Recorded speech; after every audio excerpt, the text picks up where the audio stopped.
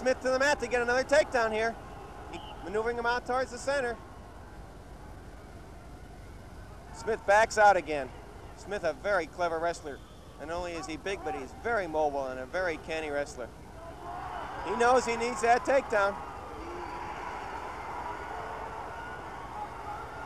Again, working on that single leg. Golic's got to shake that arm out. Golic close to take takedown, but he doesn't have it yet. Smith still has his left arm. 30 seconds to go in the second period. Now he's got it. Golic leading 8 to 2 here. 20 seconds to go in the second period. Harold Smith so far, here's a stalemate. 20 seconds to go as Smith stands up. Golic would like to hold in that last 20 seconds, not surrender the escape point.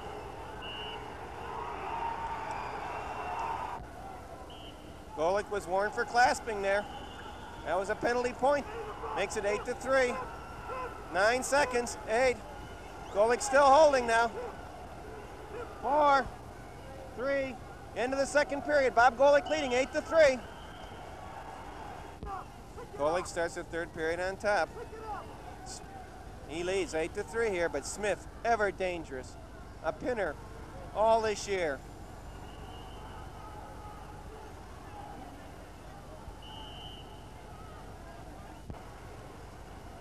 Golic still in control here. Minute and 40 to go. Harold Smith has had a very tough schedule this tournament. He beat Tom Kuzno 5 to 4 last night in a very close decision. Then pinned Mike Weitzman this afternoon at 321 with a 5 to 4 score at that time. Smith leading. I would guess that almost every eye in this place is riveted on this one mat. Minute and 15 to go. Golic still leading, 8 to 3. Been riding Smith the entire third period. Smith looks just a little tired. Golic been pushing him the whole bout. Smith, twice North Canton champ.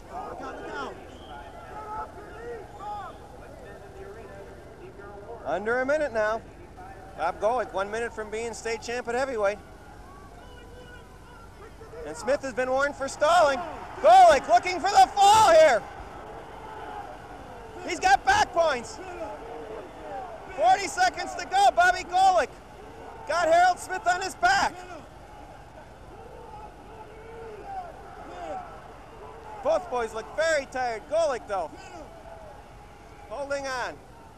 He'll get back points for that. It's three. And now Golic leads 11 to 3, 20 seconds to go. This is going to be a big surprise. Golic dominating this bout so thoroughly. He leads 11 to 3, 15 seconds to go in the bout. Off the mat. Nine seconds away from his state title, and a big surprise, and particularly the margin of score. Four, three, two, one. Golic has done it. Cleveland's seventh champion, and a big surprise. And is he happy? Defeating defending state champ Harold Smith, 11 to 3 in a great bout. What a bout. Bob Golic, the winner. Shaking hands with Bob Spencer, the coach from Canton McKinley. Now being met by John Starry, his happy coach. A popular victory.